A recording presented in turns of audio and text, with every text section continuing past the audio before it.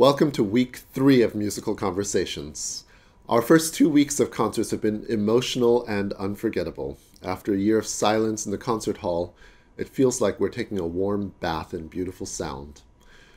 Our first guest today is pianist and composer Matan Porat. Matan was born in Israel and lives in Berlin now. We're very lucky that he's able to get to Portland this summer because of COVID restrictions. Few artists from Europe have been able to get visas. Matan is one of the most staggeringly multi talented musicians you'll ever meet. This week, he's going to improvise the soundtrack to several Buster Keaton silent films Sherlock Jr., The Playhouse, and The General. And he's also going to play with the Dover String Quartet his world premiere of his piano quintet. You have had quite an ordeal to try to get here from Europe. Can you tell us a little bit? Uh, I think I, I think I'm one of the few artists from Europe who made it to the States this summer. I know lots of my colleagues uh, were denied visas and uh, nobody got the uh, NIE status. Uh, so I think I, I'm kind of lucky. Let's hope everything goes well from now, but it should be fine. Yeah. And so how do you think you were able to get it as opposed to so so many other people? I don't know. I got many I got many artist visas in the past, so maybe that's why. Uh, yeah. Well, we are very lucky because I know so many festivals around the US they had to change their plans and couldn't have the originally scheduled artists. So you're going to be playing two films at the beginning of your stay here in Portland, um, improvising the soundtrack to two evenings of Buster Keaton films. What is that experience like playing? Is it just like playing another concert of, of music that, you know, Brahms Piano Quartet, or is it a just completely different experience? Completely different experience. Uh, first of all, uh, it's very much um, improvisation, so it's uh, audience uh, make a difference. The ambient makes a difference for me. Um, the venue, everything has a factor in a way because I'm not playing from written music and I'm making uh, things uh, basically from scratch, except of leitmotifs and, and so on. Um, so, uh, and of course, I'm I'm more uh, both more relaxed and needs to be more focused on the on, on another end. Um, but I'm going to do two uh, two evenings of very different movies. Uh, in the second evening, I'm going to do the General, a film I've done many many times. On the other hand, on the first uh, night, I'm going to do uh, both um, Sherlock Jr., a wonderful, wonderful, uh, my favorite Buster Keaton movie, paired with uh, The Playhouse, a movie I never done before. So I'm also excited about it. The uh, for, so the general you said you've done around 15 times something like that is has it settled on have you settled on certain motifs themes structure or is it quite different each time? It's very different each time, but there are uh, leitmotifs that I remember, like for the hero, for uh, you know uh, the south against the north. So so there are like main motifs that are being explored. But for instance, uh, entire sequences where he runs on the train that goes on for 20 minutes. This is i have no idea what's going to happen and what i'm going to do. So a lot of things are very much fresh every time. Oh my gosh that's incredible. And it's i mean it's not like a lot of improvisation where you can you can extend it or you can shorten it. I mean you just your length is predetermined right? the length predetermined, but nothing else is predetermined. So so it's very um, it, it it requires me to be on my toes the whole time, and I like it. Amazing. I mean, playing chamber music with other people is also keeping keeping you on your toes all the time. And does it feel a little bit like that, like you're interacting with with the movie or, or somebody? Yes, very much so. On the other hand, uh, the input needs to be always from the movie in, in one hand, but I'm the only musician. So it does feel like a solo. On the other hand, it does feel always like an accompaniment. So it's a weird mix between solo and accompaniment the whole time. Wow. Yeah. So, and then later in the week, there will be the world premiere of your piano quintet. Yes, very very exciting. I it it was always a kind of uh, my wish because I'm playing uh, my I think the most uh, uh the most common uh, uh, chamber setting that I'm playing from outside would be with a string quartet. So I'm I'm playing a lot, a lot of of piano quintets. And my my wish as a composer since like 20 years was to write a piano quintet. And uh, i'm very very happy and thankful that you commissioned uh, you commissioned this because it's really something that i had in mind for many many years some commissions um, the commissioner will ask a composer for a specific instrumental combination mm-hmm. for one reason or another. But in this yeah. case, I remember asking you, what would you like to do? And you were the Thank one. that. well, I, I think it was, so it was interesting. We, and I think you settled on piano quintet pretty quickly. Mm-hmm. I would like to do that.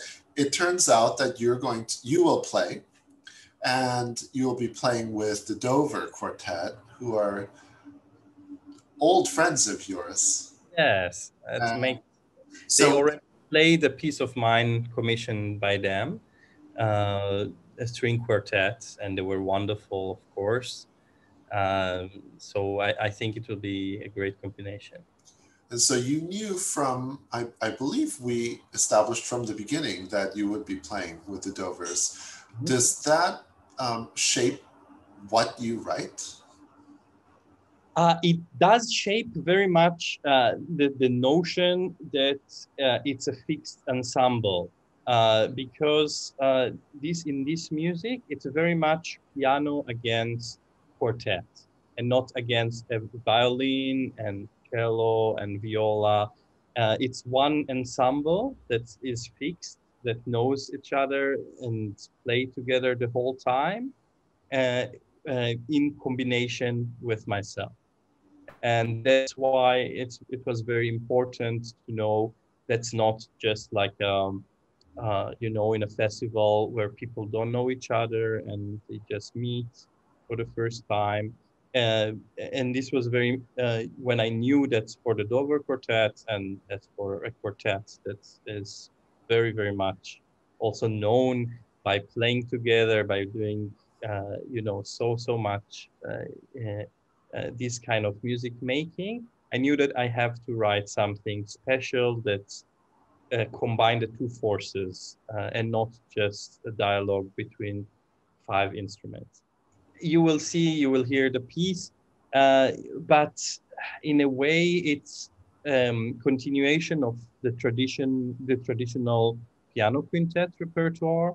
It's very, very much, uh, uh, although rhythmic and metric, it doesn't always line up. And there are some uh, very, very much uh, uh, uh metric uh, uh, disassociations. But it's a very traditional piece in a way. It's three movements. There's a scherzo, there's a slow movement. The first movement is even a sonata form, although it's very, very weird one. But um, in a way, uh, and this was also important for me as a pianist, this is a very, uh, it, it, has a lot of dialogue with, with uh, both uh, Baroque and, uh, but um, very much in the Brahms uh, direction. does your composition sound quite different from your improvisation? Yes. Well, I mean, also my improvisation, uh, different styles and movies sound completely different, as you probably know. Um, you remember uh, when I did the, the Battleship Potemkin and uh, Lake Champlain, your other festival. Um, this I was looking for something Russian at the beginning of the 20th century.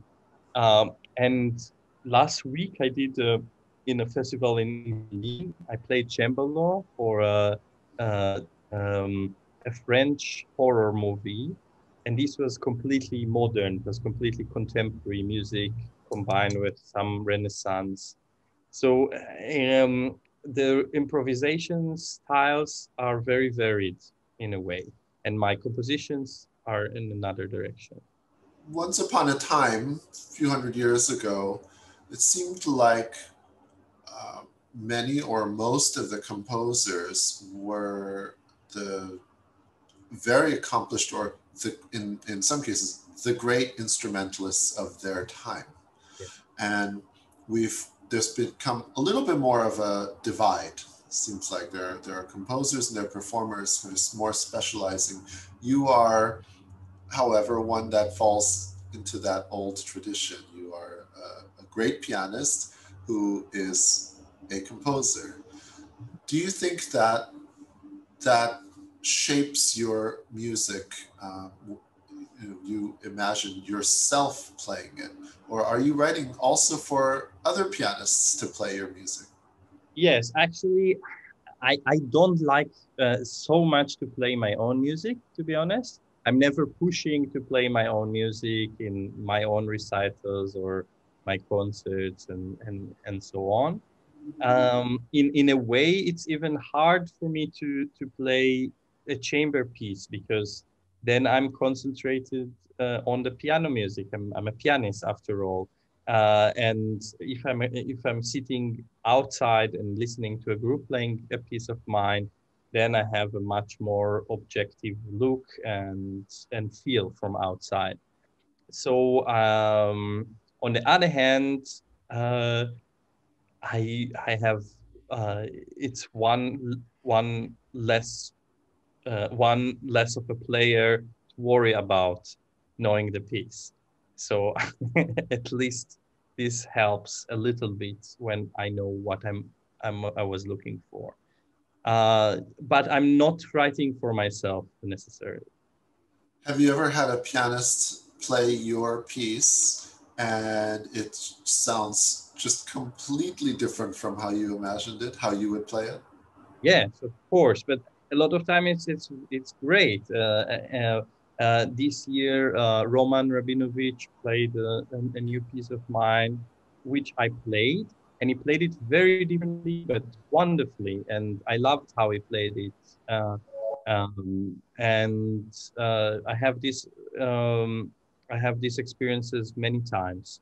So uh, I think when when when you have great artists and great people playing, uh, it uh, brings a new life and new light that you were never thinking about to, to your own pieces. Do you think that would shape the way you play it in the future? Um, that's an interesting question, but uh, uh, it it does change my perception on the the particular piece because it adds to adds another facet to to it that I was not thinking about. It's amazing. It, it's like a, a living, breathing thing. Exactly. Exactly. Once I once the the music is completed, it's not mine anymore. I mean, I I wrote it, but it's mine as as much as it's the other person. That is a really amazing perspective. I wonder. I, I don't think every composer feels like that, though, right? Do you think Beethoven didn't feel like that? Do you think? No. I mean, uh, of course, uh, but uh, it's just uh, when I come up, uh, across pieces I I wrote 20 years ago, for instance, it looks both very foreign to me, but also very uh, charming because it's something I, of me, something I know, but it's not what I what I did yesterday or today. So improvisation and th- this uh, movie nights that we are doing. Uh, what's nice about it is that this is the where uh, me as a pianist and me as a composer meet in a way um, because uh, this is something that is really the, the combination of, of my two personalities and uh, that's i think I, when i discovered that i can do this uh, it was very full, fulfilling because it's really uh, the two things I do. So I, I love it. Yeah.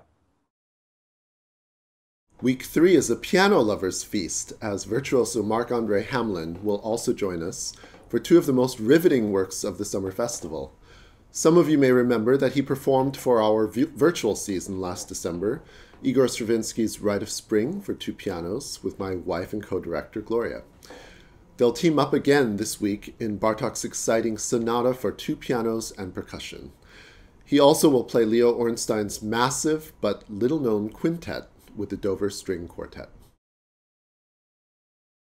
Oh my God, uh, Leo Ornstein. Uh, he's a composer who many people will not have heard of. But uh, at one point in America, at, uh, I, I, would say maybe in the teens and 20s you know he really was all the rage. I mean he was a very active performing pianist playing the best classic and romantic literature. And uh, at some point and, and, he was also composing uh, relatively conservative things tonally and at some point in his 20s, he started hearing very, very, very strange harmonies and felt compelled to, to write this stuff down. And the, uh, he, uh, a lot of these compositions were not only very dissonant, but very violent as well. And uh, it got so that um, he started to doubt his sanity. But he was really, really acting out of a, a genuine impulse to uh, a creative impulse to write these things down.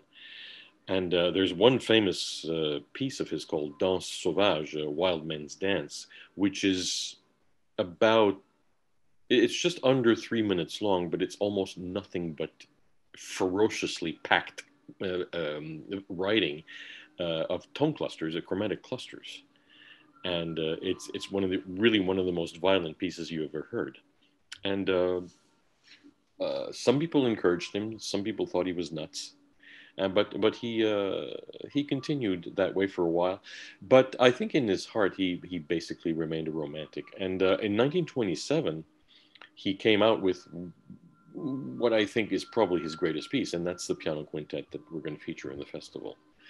Uh, it's very hard to define it stylistically. I mean, one hears great romanticism, one hears uh, Bartokian barbarism. barbarism.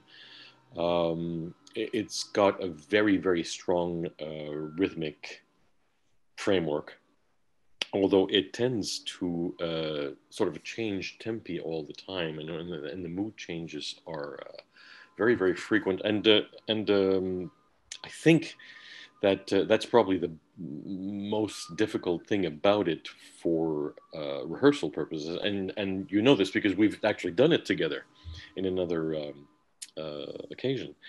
Uh, the constant changes of tempo are really really hard to get used to. But uh, once you get to know the piece i mean uh, you're really in the presence of something very great i think. There are huge spots of the piece where the tempo changes feel like get faster. Okay, let's get a little faster. And now let's get even faster. and one thing about it is that um, you know the, the the, the the piano writing has lots of uh, well let's say it lots of notes and um, it's extremely ornate uh, and uh, because the tempi are often fast you need a, real virtuoso of a page turner because uh, sometimes uh, it's uh, the music is so dense and there's so much activity that it's preferable that the page turner remains standing up in places. uh, you mentioned the Bartok barbarism, and originally our idea for this program was to have the Ornstein on the first half and have the Bartok Sonata for two pianos percussion on the second half. And, and basically, well, that wouldn't have been too bad. Oh well, it would have been just like the most thrilling rock concert energy. Uh, I agree on that.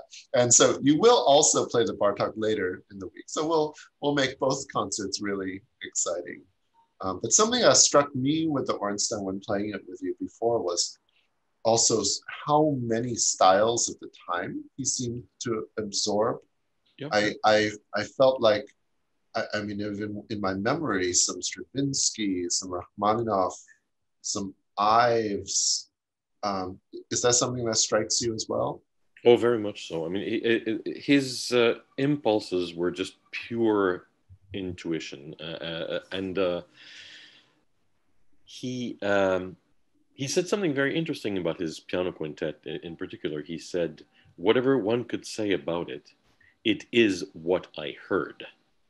So he wasn't a systematic uh, composer. Uh, he he didn't really have a set of Schoenbergian rules, for example, to it that he adhered to. I mean, it was just pure inspiration. And the Bartok for me is it's one of his most enjoyable, exciting, immersive pieces um, to mm listen to. It's, and it and it feels big and um, but doesn't take up as much length and as much space as it feels like it's very very condensed potent um, it has the, the rhythmic, the atmospheric, the, the folk elements, the virtuosic, which I always associate with Bartok's piano writing. Um, what do you look forward to most about playing this? Well, this is, uh, it'll be uh, very nice to revisit it because I actually haven't played it that often. But I really got enthusiastic for the piece and listened to it many, many, many, many, many times before I even got a score before I could even afford a score as a as a student. Uh, and it was many years after that until I, I even played it.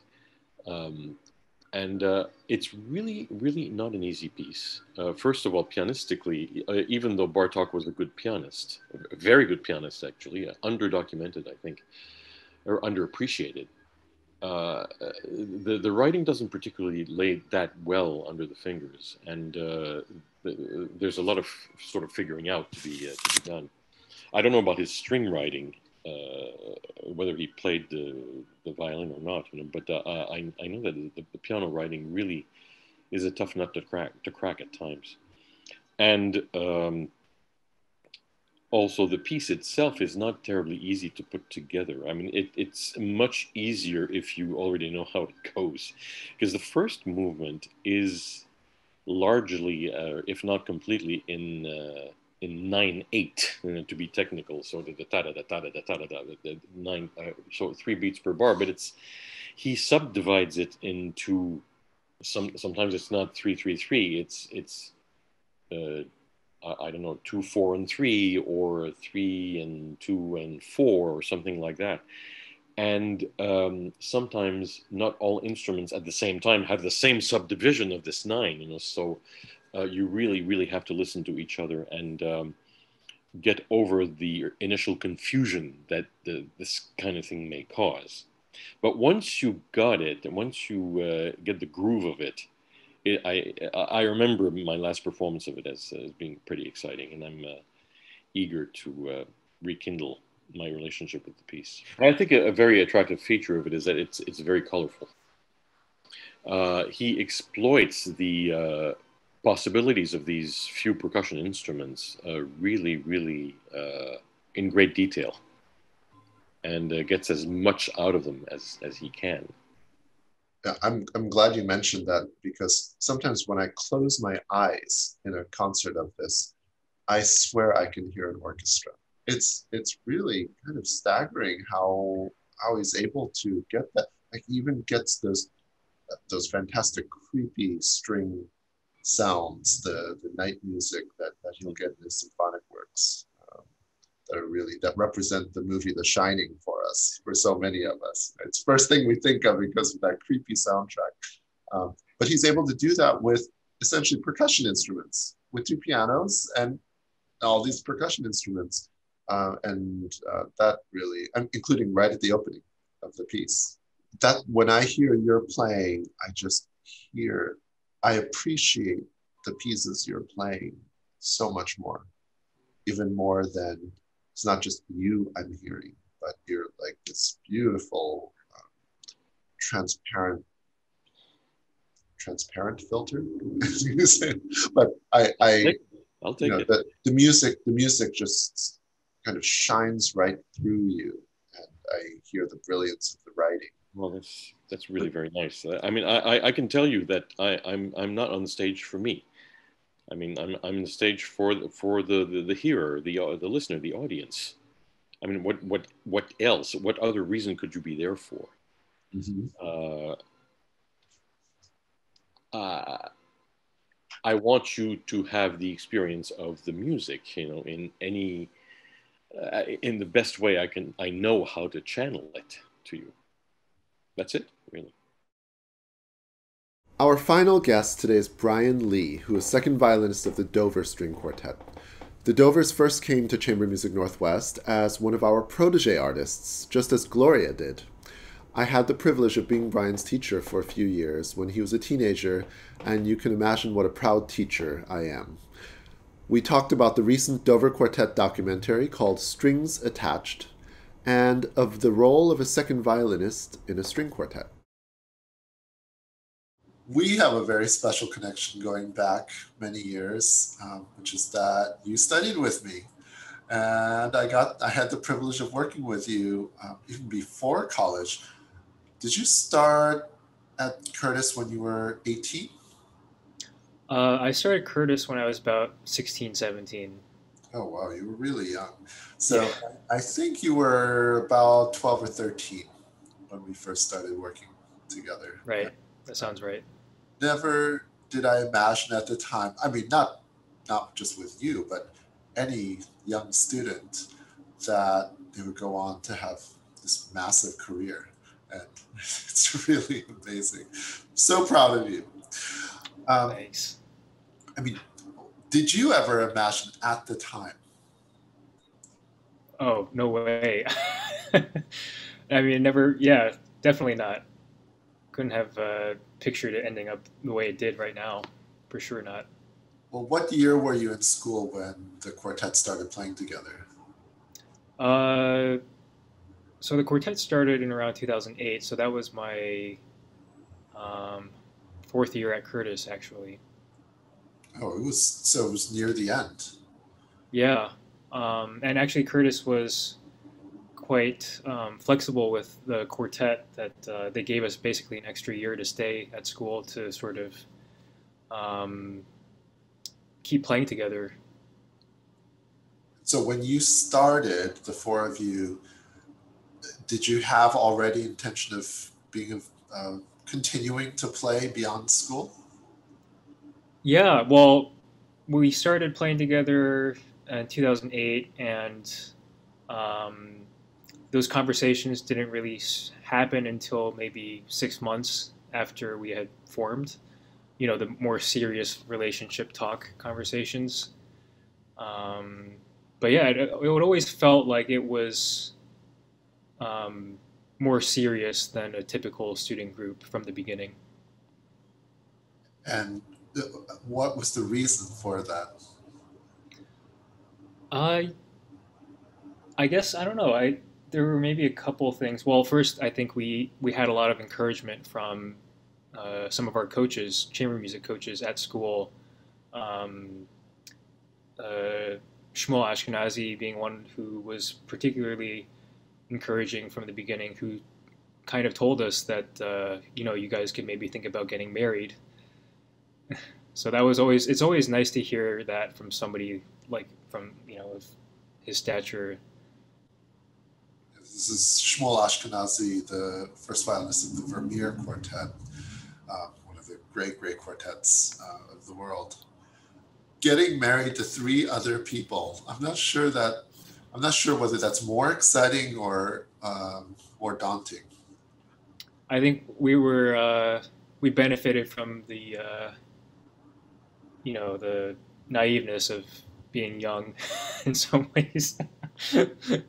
but no, I mean it was it was uh, it was such an exciting time. I felt at that uh, like thinking back on that time. You're a basketball fan. Yeah. And um, I often equate string quartet with uh, teams, you know, sports teams. Have you ever thought of it that way? Yeah, I mean it's totally a team. Uh, everything has to be. Um, everyone has to be working together in order for the the unit to sort of function at to its highest level. I think. So you're the second violinist. What position are you on the court? Ooh, that's a good question. There's part of me that wants to say point guard, actually, um, not because I think it's like the most like important part. I mean, every part is super crucial, um, but I feel like as second violinist, you have to sort of be on your toes all the time and switch roles constantly. Like you're playing the melody, you're playing um, with the viola as an inner voice, um, you know, with the cello, like providing a bass line, sort of. Um, so I feel like you have to be sort of like a chameleon in a lot of ways and fulfill many different roles. And I think a point guard, well, it has to be a versatile point guard. Um, maybe someone like Magic Johnson. Yeah, I think point guard is point guard is probably probably good. I definitely think of the cellist as the center. Right. Right. For The- sure, like grounding everything. Yeah. Right. Yep. And uh, blocking shots and rebounding as well. yeah. the Dover Quartet documentary uh, came out uh, last year, last summer, called Strings Attached. And we actually showed it as part of our Chamber Music Northwest season. Um, for those of our audience who haven't seen it, I really recommend it. Um, I knew the Dover Quartet for, I've known the Dover Quartet for many years, but it was still incredibly enlightening. And uh, how long was the crew, was the camera crew with you? Um, I think for the better part of two years, on and off. But yeah, Wow. So they really, almost like they captured um, a whole journey. I'm sure the, the quartet kind of evolved over two years. right. And also, um, we got to really know the director and the cameraman quite well through those two years as well. So it was uh, quite a journey. So what was it like watching it when it was all done? It was um, pretty emotional. Um, you know, I don't really like watching or hearing myself speak. um, but yeah, kind of reliving all those moments and um, yeah, reliving all of the sort of ups and downs of the quartet. Um, it was definitely an emotional experience, and um, I can't say that I would want to watch the film more than once, but I'm, I'm glad we did it. Definitely. Were you surprised with what it looked like from the outside? Yeah, well, because we didn't, the quartet didn't have any say in like the direction of how the film would go. That was all up to Bruce, the director, um, and I knew he, that he would create some sort of narrative to go with it. Um, yeah, but it felt like a really um, sort of cohesive story that sort of went somewhere. Um, yeah, I was genuinely surprised and uh, pleasantly surprised. I'll say. There's a lot of amazing playing, of course, in it, but one of the big takeaways that I got was that um, you, the quartet and, and your director, cast no illusions about how glamorous quartet life is. They really captured, I think, how how much you have to endure and overcome in order to make this music that you're all devoted to. I mean, you're just you seemed exhausted at so many points.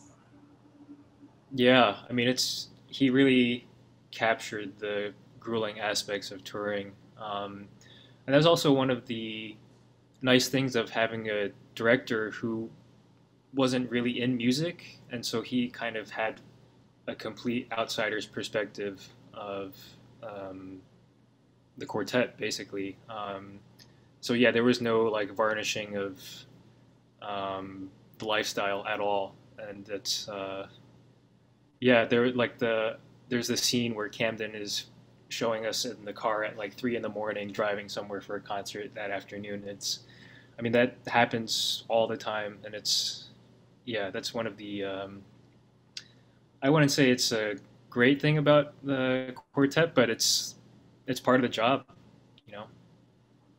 Wow. I'm sure you probably pre-pandemic you were probably gone at least 75% of the year, I would imagine. Yeah, um, actually, from doing taxes, and so we can see like exactly how many days we're gone from the year. And I think it, over the past five to six years, we were averaging like 240 to 250 days, like touring out of the year. Wow.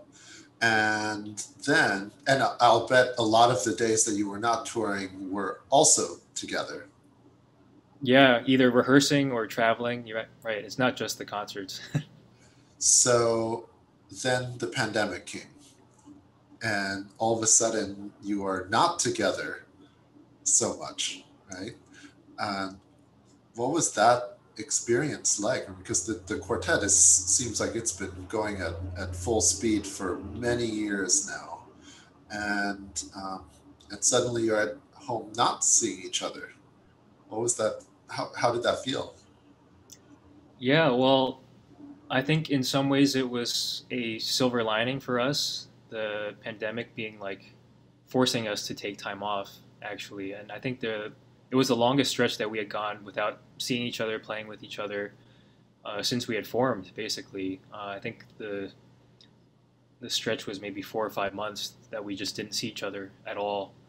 Um, and I think it was sort of needed in some ways, um, just because of you know the grueling aspects of touring, um, it's really easy, I think, to suffer from burnout.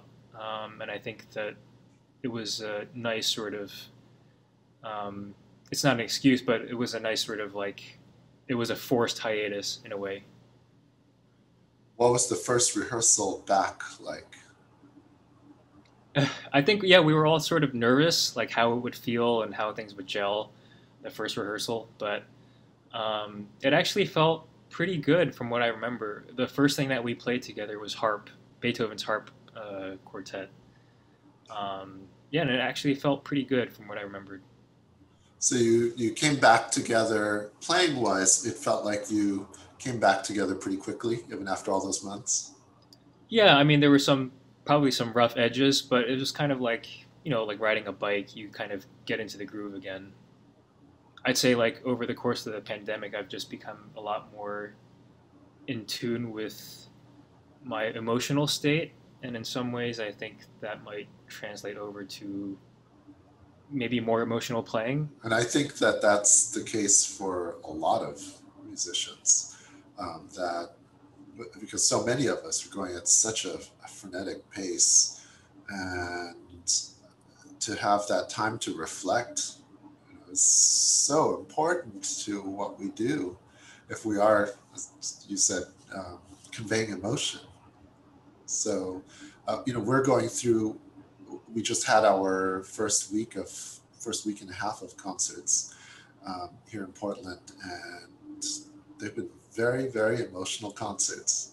You know, every everybody's feelings combined. So um, it's been really wonderful in strings attached, what I was surprised by was how open you were with your some of the things you've experienced, your feelings. Um, I mean, you you said a lot of things, personal things that I think I would have been very self-conscious saying on camera, and uh, it seemed so easy for you. Was was that something that you had to prepare for? That you had to make yourself do it, or you just felt comfortable speaking to the world? Um, yeah, it's well, I don't feel comfortable generally talking about a lot of personal things. I think generally, like I'm a pretty introverted person by nature, but um, like I kind of uh, brought up before, like we got to know the director really well, and at a certain point, he just kind of felt like a really close friend and almost like family, basically. Um, so I, I, that would that definitely helped, like in terms of uh, being comfortable on camera and kind of opening up. Um, and I think also just the fact that we were uh, filming the documentary, it gave us all a chance to sort of take a step back and um, I don't know, assess like why why are we doing what we're doing? I don't know. It made me sort of question like a, a lot about myself. So in that way, I felt like it helped me to open up and talk about maybe more personal things. We're looking forward to being back in Portland. It's been two years since the last time we were there, and it's you know we've been going every summer since 2013. So it's um, uh, last year was sort of an aberration, but it's yeah, it's going to feel amazing to be back. Thank you for joining us for week three of Musical Conversations. Please join us in the concert hall and online for our historic summer festival.